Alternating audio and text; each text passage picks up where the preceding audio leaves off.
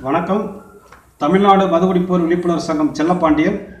இன்றைக்கி உயர்நீதிமன்றம் வந்து மதுக்கடைகளை எல்லாம் டாஸ்மார்க் மதுக்கடைகளை மூட உத்தரவிட்டிருப்பதாக செய்தி வந்திருக்கிறது. அதே நேரத்திலே ஆன்லைன் மூலியமாக சரக்குகளை விற்கலாம் என்று பரிந்துரையும் செய்திருக்கிறது.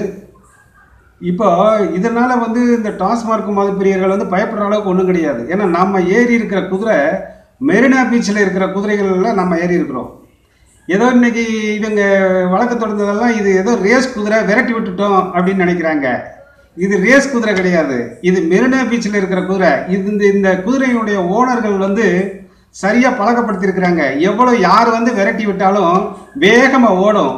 திரும்ப யூ போடும்போது தான் இவங்க அந்த நம்மளை விரட்டி விட்டுட்டோம்னு நினச்சிக்கிட்டு இருக்கிறவங்களுக்கு தெரியும். அதனால் நாமெல்லாம் மெரினா குதிரைகள் மேலே அமர்ந்திருக்கும். இந்த குதிரை திரும்ப போன இடத்துலேருந்து திரும்ப அதே இடத்துக்கு வரும். அதனால் நம்மளை இந்த குதிரை மேலே நம்மளை ஏற்றி வைத்திருக்கின்ற அந்த உரிமையாளர்கள் தெளிவாக அவர்கள் வேலையை செய்வார்கள். அதனால் ஒட்டுமொத்த டாஸ்மார்க் மதுப்பிரியர்கள் நீங்கள் தன்னுடைய குடும்பத்தையும் இந்த கொரோனா பாதிப்பை உணர்ந்து நாம் நடந்து கொள்ள வேண்டும் என்று தமிழ்நாடு மதுகுடிப்போர் விழிப்புணர்வு சங்கம் அன்போடு கேட்டுக்கொள்கிறது.